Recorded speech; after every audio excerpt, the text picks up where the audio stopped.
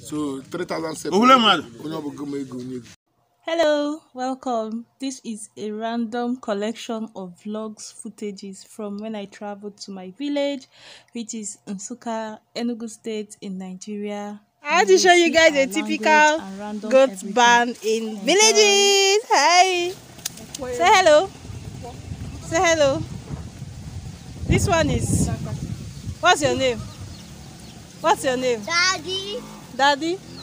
Okay. one? What's this one's name? What's this one's name? Who's that? This one. Brother, Lele. What's that one's name? auntie, Hello. What about the other one? this small, No, the big one. mommy. Hello. Then the baby. Ada. This is daddy. okay, guys, you can hear their names. So we have daddy, mommy, auntie, brother, and and and Ada. this one name. What does that one name? okay, um, Chukubike. Eh? That one is Chukubike. Nutukubebe n'onwe a ga na-akpatara unu nri.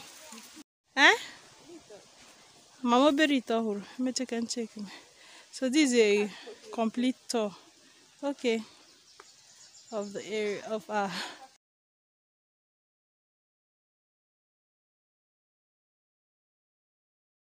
This is my auntie's nursery. So say thank you for Ose Nsukka. This is how what makes you have Ose Nsukka. Guys, this is a clay pot. Look at my nwa anu ga-eshi ọrụ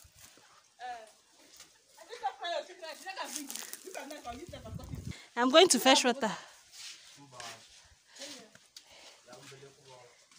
Tere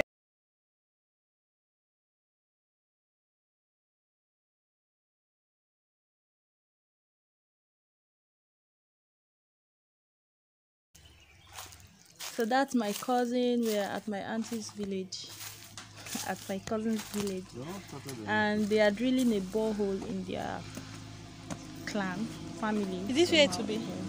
This, this where it enter. That one. This one. That's what they wanted to do.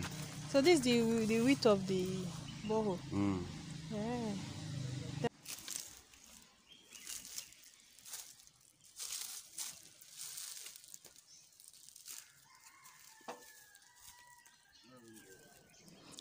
For someone that studied geophysics, I have never seen where drilling is taking place. So I don't know why I was just so interested in snooping around their machine and what's going on.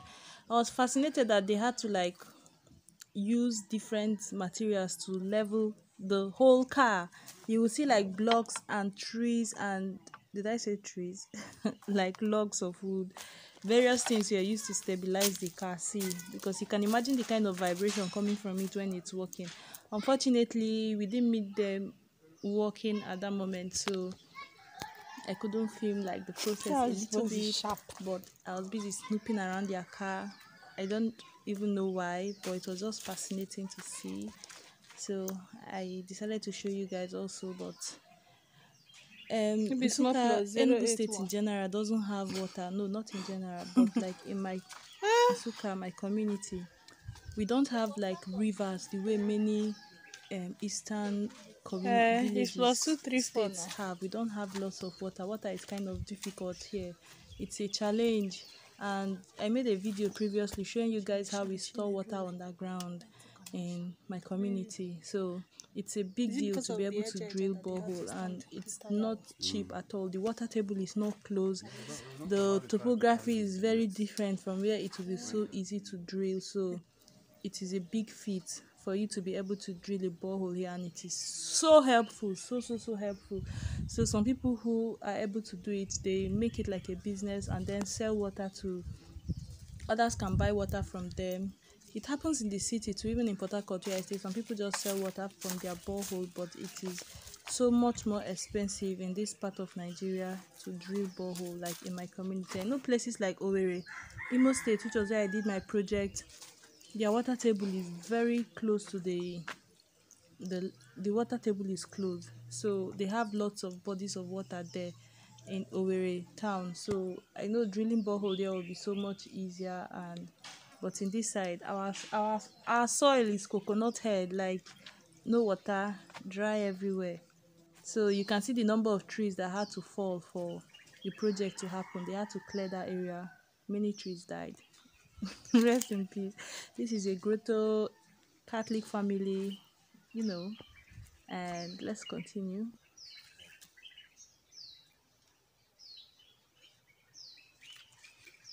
I remember when I was younger, during long vacations when we come home for holidays, like every family always had palm trees, palm kernel, right? This is a palm kernel breaking machine or processing plant, something like that. When we used to come home when I was younger, like 10 years, every family had excess palm nuts. And then you could sell the the broken, like when you shell the palm nut, the edible part inside, right? There were a lot of people buying those ones and every family had the unshelled one like stocked up in drums and bags everywhere. So during the holidays kids were allowed to as much palm kernel as you can break you can sell the the edible one inside and take the money. So as much as you can break the money is yours and This there was just the- abundant I saw Maneka, so she used like tarpaulin and did the Okay, sorry, before I continue, this And is a Habiblet. Ose Nsuka, like Nsuka pepper nursery again. So my auntie used like a tarpaulin to shell hers, to cover hers, but this, that particular family used grasses, so it's just another variation. When we now came home, when I was slightly older, we Cho, found see out that orange. this machine has See become orange. in existence and instead of families to allow the kids just break it and make money from it they'll just take it to the machine industrial process it breaks everything they sell it off fast it now became gold something that to another one? make money now Did it fall? this is my younger sister Oge from Oge Unfiltered. We are at my uncle's vineyard, my aunt's husband, my cousin's family. this is another goat pen. Goat pen. Yeah, that's what it's called. It's not a band, it's a good pen. And you see, like, families just randomly have few goats around. You can throw your fruits, your I don't know. I don't really know why people keep it, but I think it's difficult. It's very easy to train, and then you can sell it when it grows. So that was it. So we were able to pick some fruits from that from my auntie's place. We are still at my auntie's place. And my sister picked this fruit that bird has already eaten part of it and she just cut off that location and proceeded to peel the papa and we ate it like that. This is why our immune system is strong because we know they hear word.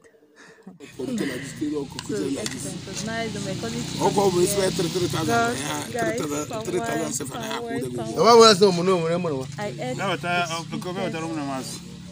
So three thousand seven. Ohun lẹ́mọ̀ àlọ́. Onye ọ̀bùn kò mọ ego onye. Oh my Thank you. Now the thing na the rope. The fish na. Okay okay okay. My cousin was warning me that. You have to wash your hands first. you can cut it.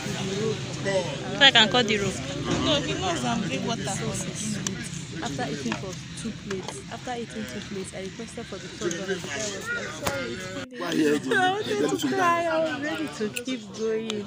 This thing was sweet. Oh my God! See the uba inside.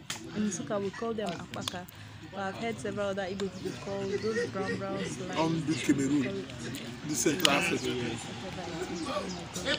Bandi, efu. Iru ebe a na-ebubata ta akpụkpọ efu ka e gbara agba na dita ne ne yola like this iye kafe do anu wa mɛ tara ko so de mɛ di yoruba na bi di ala. k'a kpɔja k'a k'e ko ne yɛrɛ si ka kpɔja k'i na o.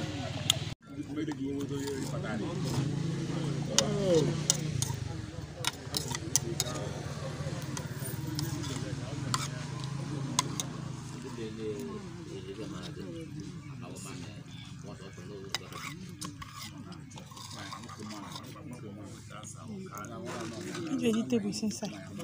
Hmm? What the vegetable inside? John. John. It's here now. Mm.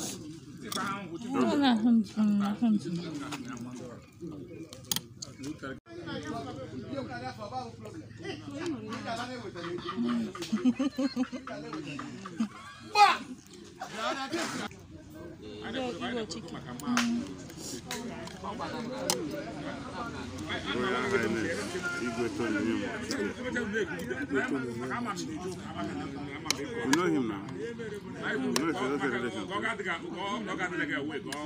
This will come to our house.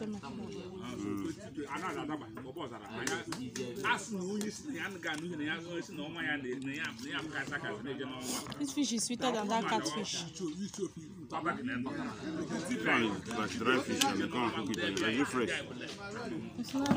Okay, sir. That I say that I have more than